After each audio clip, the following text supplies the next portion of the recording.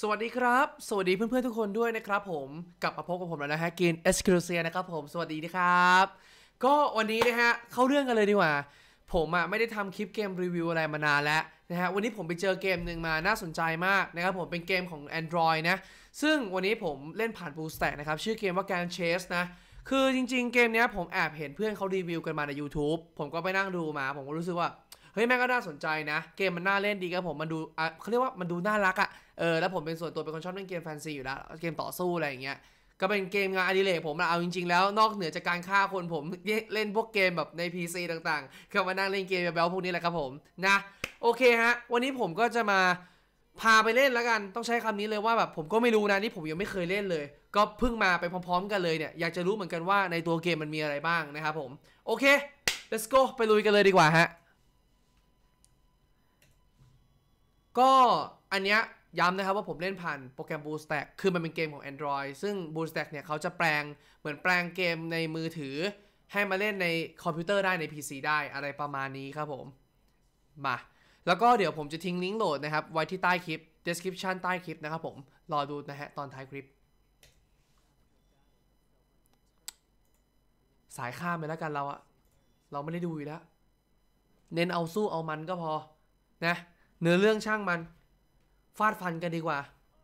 อะ มาละเอ้ยมีภาษาไทยด้วยเว้ย เอาวะข้ามีอะไรต่อสู้กับเจ้าโอ้ยเดี๋ยวภาพเกมมันน่ารักดีนะ ดูซะหน่อยดิ ดูซะหน่อยดิ นานๆทีจะได้เห็นอะไรแบบนี้ ส่วนตัวปกติเวลาเล่นเองก็จะกดข้าตลอดใช่ปะอันนี้ให้ดูหน่อย ให้คนดูดูไปพร้อมๆกัน ระวังตัวด้วยนะ พวกนั้นไม่ธรรมดาเลยคุยแอปเสียงผู้หญิงทำไมวะเนี่ยมันเป็นผู้ชาย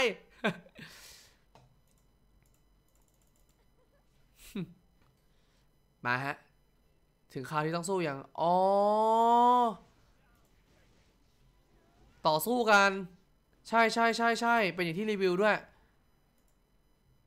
ลำหลอมนะผมบอกเลยจังหวะนี้ไปเรากดข้ามเลยดีกว่า ดูหน่อยไหมคนดู เฮ้ยมันเหมือนภาพการ์ตูนเลยว่ะดูซะหน่อยแล้วกัน เปิดเสียงหน่อยนะฮะ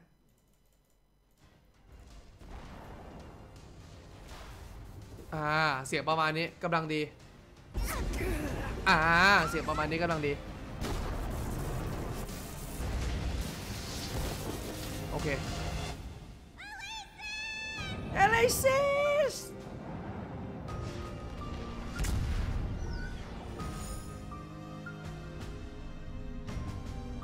นนี้น่าเป็นตัวละครหลักปะคนเนี้ยอะโอเค จบไปอีกหนึ่งฉาก Do you think we'll ever meet the Grand Chase? เขาจะได้พบแกรนเชสเมื่อไหร่ Perhaps if fate ไม่รู้สิ decides มันคือ it, โชคชะตา then it could be possible. แกรนเชสแกรนเชส As long as the grand chase มันคือ continues. ชื่อเกมเลยเนี่ยว่ะเหมือนตัวละครเราต้อง ต้องการที่จะตามหาแกรนเชสซึ่งแกรนเชสเนี่ยคืออะไรสักอย่าง ผมก็ไม่รู้เหมือนกัน อ๋อ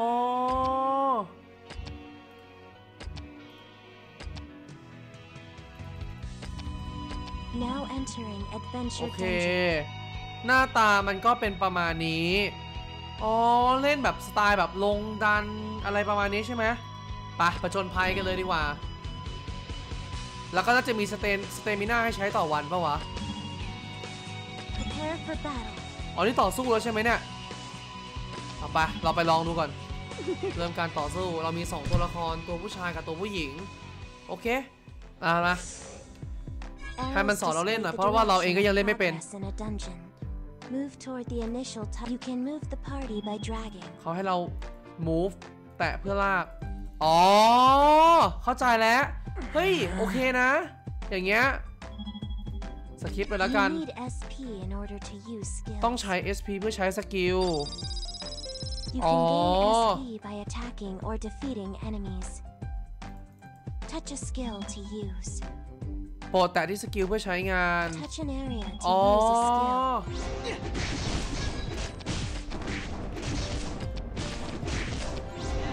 อ๋อ ใช้เลขหนึ่งกับเลขสองก็ได้คนดู Drag ignore the enemies and move. เออใช้ได้นะ คือเราอะ เวลาเรากด skill ครับ เราใช้ อันนี้ถ้าเล่นผ่าน BlueStacks นะครับ เราสามารถใช้นิ้วกดได้เลยนะครับ เลขหนึ่งเลขสอง amazing? ว่าภาพเกมมันก็น่ารักดีนะ Huh? กดข้ามไปแล้วกัน You can move the party by dragging. ไม่เน้นสอนเยอะ เน้นต่อสู้แล้วกัน แตะที่นี่เพื่อลาก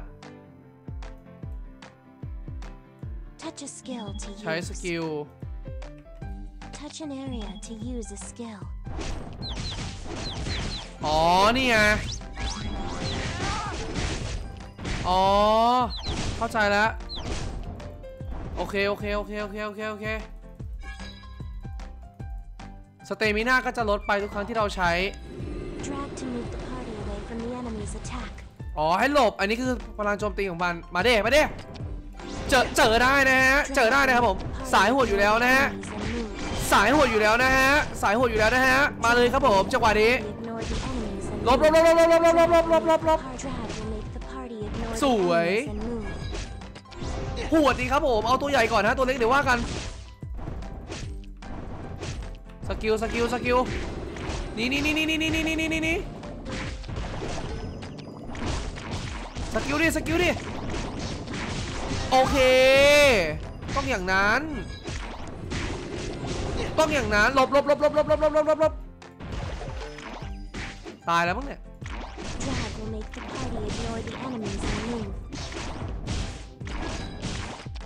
อันนี้มันคืออะไรอะ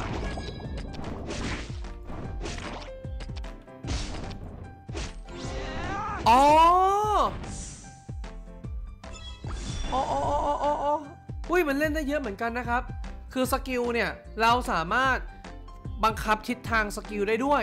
คือกดเหมือนเรากดเลข skill ใช่ปะแล้วเราก็เหมือนว่าดึงเมาส์เราไปอีกฝั่งหนึ่งสมมติว่าเราโจมตี monster อยู่ตรงข้างหน้าเรา แล้วมันมีตัวฝั่งซ้ายมาเนี่ยเราสามารถลากไปฝั่งซ้ายได้ด้วย เออเจ๋งเว้ยเออก็ถือว่าเล่นไม่ยากครับ เล่นไม่ยาก In the edit party menu, แก้ you ไข can ปา add ร์ตี้ heroes to your party or change them. นี่ใส่อ๋อใส่ตัวเพิ่ม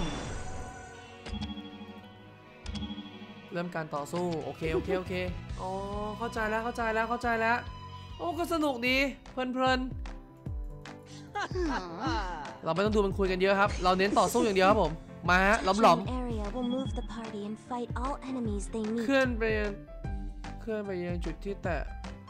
และต่อสู้มาพบศัตรูโอเค หลบหลบก็บอกจังหวะนี้กด X คิดให้เข้าด้วยเว้ยเมื่อกี้ อยากรู้ว่ามันใช้ skill ตัวอื่นยังไงอะอ๋อ นี่นี่นี่นี่นี่นี่เจอแล้วเจอแล้วอ๋อหนึ่งสองสามสี่เข้าใจแล้วหนึ่งสองสามสี่ห้าหกครับผมเรียง skill เลย เดี๋ยวผมใช้นี่ให้ดูนะ skill ของตัวแกะดูนะ make the party ignore the enemies and ดูนะ move. Touch ผม a ใช้ skill skill ตัวแกะให้ดู to use. Touch an area to use a skill. ปึ๊บ Touch อัน a นี้ skill. เลขสาม Touch an area นี่ไง to use เลขสามแล้วก็เลขสี่เลขห้าหกนี่ไง เฮ้ย ถือว่าไม่แย่เลย Party เอาเรื่องอยู่นะ เมื่อใช้ skill ครบ 6 ครั้งสามารถใช้ skill ทั่วไป Party Oh. skill button is activated. โอเค โอเค Touch ก the ดใช้ party ปุ๊บ skill. Touch an area to อ๋อ use a skill. เข้าใจแล้ว ก็คือประมาณว่า ถ้าเราใช้ skill 6 ครั้งใช่ไหม ถ้าเราใช้ skill 6 ครั้งอะ ไอตรงเนี้ยมันจะขึ้นมาให้เรากดใช่ไหมครับ พอเรากดปุ๊บ ก็กด skill มันจะมี skill เด้งขึ้นมาแล้วกดใช้กดกดใช้ skill ใส่ศัตรูได้เลย เบอร์2เบอร์3ต่อเลยครับผมล้มหลอมนะ combo combo ใหญ่ครับผมจังหวะนี้เล่นไปแล้วครับผมมาเลยฮะล้มหลอมนะพอเล่นไปแล้วอะไรอะไรง่ายๆมีมี heal ด้วยอ่าไอตัวไอตัวแกะของเราเนี่ยตัวแพะของเราเนี่ยมันเป็นตัว support โอเคครับ อัญเชิญฮีโร่ว่ะ เฮ้ย เอาว่ะ เราจะได้ตัวใหม่แล้วฮะทุกคน กดรับ เอาละฮะ I wonder เฮ้ย ตัวอะไรเนี่ย what they taste like. ค้างคาวกัตลิเดียสามดาวนะฮะ อ๋อ มันตัน6ดาวนะ เป็นธนูตัวโจมตีไกล มันจะมีบอกสายอาชีพด้วย แก้ไขปาร์ตี้ เราสามารถใส่ได้ทั้งหมด ตอนนี้ 4 ตัวละครเหรอ ใช่ไหมหนึ่งสองสามสี่ห้าตัวละครนี่ มันใส่ตัวละครได้อีกนี่ หรือว่าสกิลวะน่ะ อ๋อ ใส่ตัวละครได้ทั้งหมด 4 ตัวละคร อันนี้คือ skill แล้วก็อันนี้หน้า 2 คือเหมือนว่าจัดเซตที่ 2 เซตที่ 3 เซตที่ 4 เซตที่ 5 เอาไว้บวกกัน อะไรประมาณนี้ โอเคครับ ก็ถือว่าเข้าใจง่ายอยู่ไม่ยากไม่ยากคือความสามารถนะ อันนี้คือตัวโจมตีไกลนี่เป็นตัว support อันนี้เป็นสายเวทโจมตีเวท อันนี้คือตัวตัวชนนั่นแหละ a t t a c k e r อะไรประมาณนั้นนะฮะสาย strength อะไรเงี้ยอะไปทีนี้เราลุยกันต่อรับของก่อนเลยฮะ login รายวันรับ login รายวันโอ้โหเงินแสนหนึ่งเลยหลอมหลอมๆนะ บอกเลยว่ารวยๆนะ เฮ้ย อะไรอะฮีโร่สี่ดาวเหรอ เลือกได้ตัวหนึ่งเหรออันนี้ผมไม่แน่ใจ ผมว่าไม่น่าใช่นะ อันนี้สายป้องกัน สายโจมตี ผมมองว่าเราควร เราควรจะมีสายเวทอุ๊ยตัวนี้มันเท่ดีว่ะ น่ากลัวดิ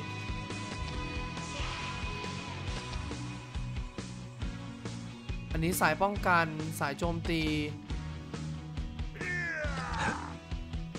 ตัวนี้มันดูเก่งเลยวะ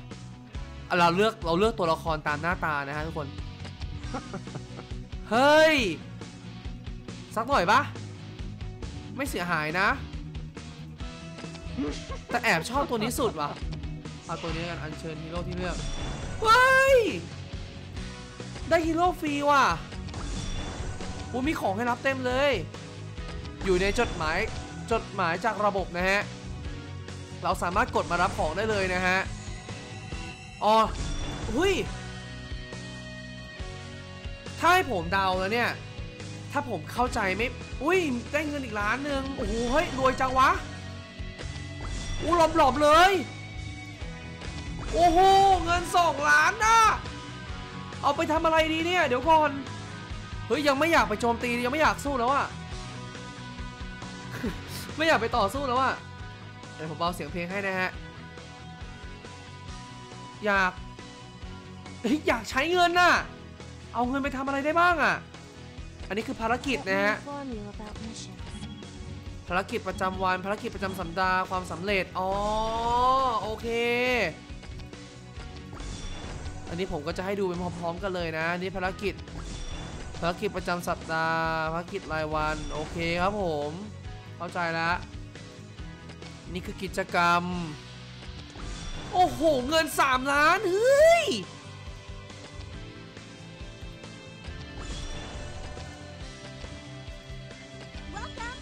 Welcome อ๋ออ๋อต้องมากดรับของกันให้ครบนะฮะทุกคนโอ้ได้เพชรอีก 200 อ๋อ อันนี้คือเพชร เรามี 234 เพชร เฮ้ย เอาไปเปิดตัวดีกว่าปะโอ้โห ได้เพชรอีก 300หลอมๆเลย โอ้เออผมชอบเกมที่มันแจกแบบนี้เยอะๆนะ รับรางวัล โอ้โห เรารับของก่อนนะฮะ เดี๋ยวค่อยเข้าไปเล่นกัน ระบบหน้าล็อบบี้ก็ถือว่าเข้าใจไม่ยากนะ ถือว่าเป็นเกมที่โอเคเลยนะ การกด skill จังหวะ fight กัน เดี๋ยวพอเล่นไปเรื่อยๆน่าจะเห็นอะไรเยอะกว่านี้นะ นี่คือร้านค้าขอหน่อยวะ ขอตัวดีๆหน่อยวะหลอมๆวะอัญเชิญฮีโร่ rare ฟรีหนึ่งครั้ง ขอนะ ตัวดีๆห้าดาวไปห้าดาวไปผมรู้เลยตัวไม่ดี อันนี้คืออันนี้คือไม่ผ่านนะผมไม่ผ่าน อัญเชิญ10ครั้งอ๋อ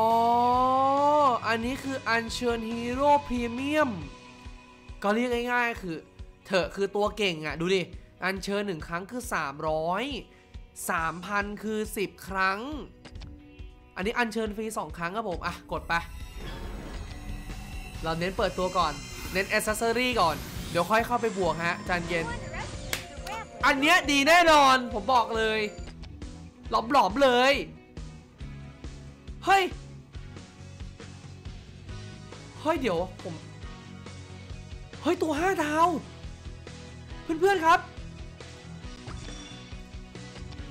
ยัดแค่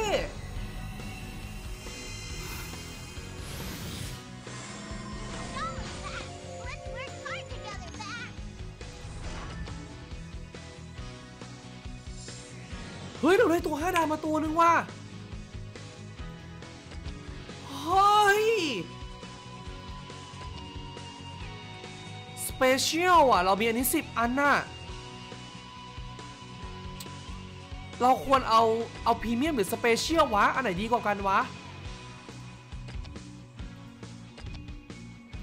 นี่คืออันเชิญพรีเมียม ผมว่าอันนี้น่าจะเฟี้ยวกว่า อะ ไปเลย10อัน ลุย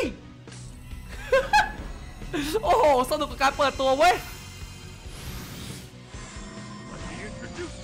I wish you peace. Goat's milk? สี่ดาว Milk? ขอลุ้นขอลุ้นหน่อย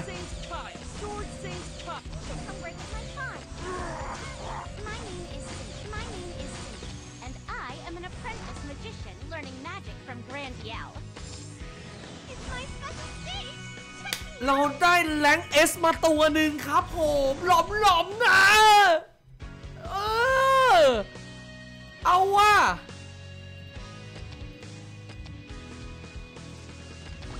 โอเคโอเคโอเคโอเคเฮ้ยผมชอบว่ะ ผมชอบกับการเปิดแบบเนี้ยผมชอบผมชอบ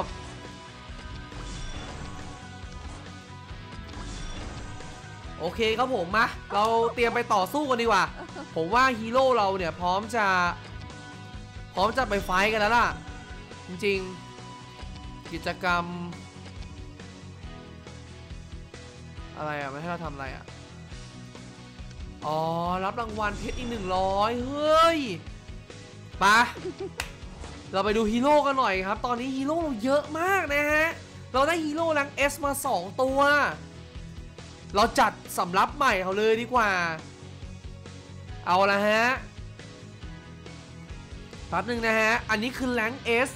เราได้ตัว support ครับผม 1 ตัวและตัวเวท 1 ตัวฮะ เป็นตัว rank S ถือว่าเฟี้ยวมาก ผมบอกเลย โอเคครับ เรากดเลือกโดยที่เราไม่ต้องคิดอะไรเลยฮะ ตอนนี้ฮีโร่ rank S สองตัวนะ เป็น 4 ดาวแล้วเราจำได้ว่ามี 1 ดาวตัวหนึ่งเอ้ยมี 5 ดาวตัวหนึ่งนะทุกคน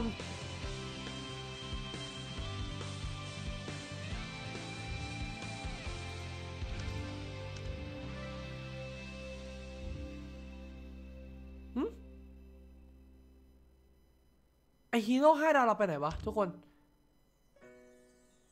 หรือผมมองผิดวะ เฮ้ยทำไมฮีโร่มันน้อยๆวะ เฮ้ยใช่ป่ะทุกคนทำไมฮีโร่มันน้อยๆวะ มันต้องเยอะกว่านี้ดิ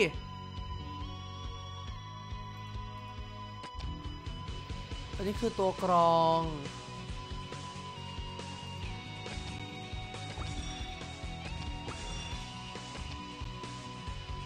เรามีฮีโร่ทั้งหมด 15 ตัว เฮ้ย เดี๋ยวนะ ผมกำลังสงสัยว่าไอ้ที่เราเปิดไปเมื่อกี้ มันหายไปไหนหมดวะ เพื่อนๆ เอ๊ะ หรือผมเข้าใจอะไรผิดหรือเปล่าวะ อันนี้ฝึก upgrading job-specific อ๋อ stats. สามารถอัพโจมตีอัพพลังป้องกันได้ด้วย อ๋อ ผมเข้าใจแล้ว โอ้ มันอัพได้เยอะเลยเว้ย อัพไปก่อน อัพไปก่อน อัพทุกอันอย่างอันหนึ่งไปเลยฮะ ไม่ต้องคิดเลยตอนนี้ อัพไปก่อน อัพไปก่อน เอาไปนว่าเดี๋ยวว่ากัน ตอนนี้เราอาจจะยังไม่เข้าใจครับผม เพิ่งมาเริ่มเล่นด้วย อันนี้ฝั่งป้องกันฝั่งจู่โจม อ๋อ อันนี้คือเราใช้อยู่ 2 ตัวนี้ อะ เดี๋ยวเราไปจัดสำรับอันนี้ใหม่ดีกว่าเดี๋ยวเอาเอาจัดแค่หนึ่งพอ ผมเข้าใจละสนุกกับการจัดตัวจังเลยนะเออเพลิดเพลินเว้ยเพลิดเพลินเพลิดเพลินเพลิดเพลินโอเคครับเรากดออกให้หมดเลย อะ มา ผมว่าเราพร้อมแล้วเดี๋ยวเราเอาตัวแคลเนี่ย ที่มันเป็น4ดาวลงไปก่อน ที่เป็นสายโจมตีใช่ไหม สี่ดาวฮะ ลงไปก่อนเลยตัวแรกเลย ตัวที่ 2 ครับ เป็นตัวเวท rank S ครับผม แล้วก็เป็นตัว support rank S ครับผม ตัวละ 4 ดาว ตัวสุดท้ายผมคิดว่าเราน่าจะเอาเป็นตัวยิงนะ ตัวฮานูสายฮานู4ดาวเหรอ หรือจะเอาเป็นเวท เอ้ยตัวนี้มันดูดีจังวะ มันเป็นตัว support อะตัวเนี้ย แต่ผมว่าตัว support เรามีตัวนี้อยู่แล้วเนาะ ค่อยๆศึกษาไปเรื่อยๆกัน เอาเป็นว่าผมยังยังไม่ค่อยรู้อะไรเยอะด้วย อันนี้คือสายป้องกันนะ เราเอาโจมตีมาเยอะๆก่อนดีกว่าแรกๆสายโจมตีด้วยกันนะแรกๆตัวนี้น่ารักดีปะวะหน้าตามนน่ารักดีเราเลือกตามหน้าตาตัวละครแล้วกันนะ ตัวนี้ก็เท่ดีว่ะขอเอาไปลองหน่อยเอาไปลองหน่อยมันเท่ดีมันเท่ดีอะพร้อมฮะ ตอนนี้ไปะเฮ้ย เดี๋ยวนะ นี่มันคือตัวละครเราหรือเปล่าวะเนี่ยสี่ตัวเนี้ย ใช่นี่ว่า โอ้โหไอ้อ้วนหน้าตาทุเรศมากเลยอะ่ะ เราคิดถูกเราคิดผิดมาทุกคนที่เราเลือกตัวนี้มาเนี่ยใช่ไหมเฮ้ยตัวแรงเอสเราโคตรน่ารักเลยแล้วตัวนี้ก็เท่เท่โอ้ถือว่าตาถึงนะกรีนนะเออถือว่าตาถึงนะโอเคครับผมอตอนแรกอะผมก็คิดว่าผมจะไปลุยต่อแหละ แต่ผมเบรกไว้ดีกว่า เผื่อคลิปหน้าเนาะ Grand Chase นะครับผม ฝากเกมนี้ไว้ได้อ้อมอกอ้อมใจทุกคนด้วยนะฮะ ก็ยังไงนะครับผมจะทิ้งลิงก์ดาวน์โหลดไว้ข้างใต้ description นะครับผมใต้คลิปนะฮะ และมีลิงก์ของ b o o s t a c k ให้ด้วยนะครับผม ซึ่งอันนี้ผมบอกก่อนนะครับว่ามาเล่นผ่าน b o o s t a c k คือมันเป็นของ Android ถูกไหมเรามาเล่นผ่าน b o o s t a c k ก็ไม่ได้ไม่ได้มีปัญหาอะไรสนุกดีนะครับผมเล่นง่ายด้วยนะฮะแล้วเกมสไตล์เนี้ยผมมองว่ามันเป็นเกมที่เอาไว้เล่นในแบบเวลาว่าง แบบเขาเรียกว่าแบบ คนทำงานอะ่ะ หรือนั่งเล่นเกมนั่งเล่นขำๆฆ่าเวลาไปอะไรประมาณนี้ ซึ่งผมมองว่าเกมมันเนื้อเรื่องการแจกของมันไม่ว่าจะเป็นไอเทมในเกมหรือว่าจะเป็นเพชรมันดูน่าตื่นตาตื่นใจตรงที่ว่าเขาแจกเยอะมาก แล้วผมใช้แบบ ผมเป็นคนที่ชอบซื้อเพชรชอบเติมตังค์ชอบใช้เงินในเกมเยอะๆเอาง่ายอะ่ะสนุกนะครับผมกับการแต่งตกแต่งอ c เซสซอรี่ต่างๆ นะ โอเคครับผม ยังไงก็เดี๋ยวไว้เจอกันคลิปหน้านะฮะ ผมคิดว่าเกมนี้อาจจะได้มีมาเล่นอีกนะครับผมในเกมการเชสนะฮะฝากไว้ในอ้อมอกอ้อมใจ อย่าลืมลิงก์ดาวน์โหลดอยู่ใต้คลิปนะครับผมฝากไว้ด้วยนะฮะสำหรับวันนี้ไปแล้วนะครับ บ๊ายบาย สวัสดีครับ ไว้เจอกันในคลิปหน้าครับผม see you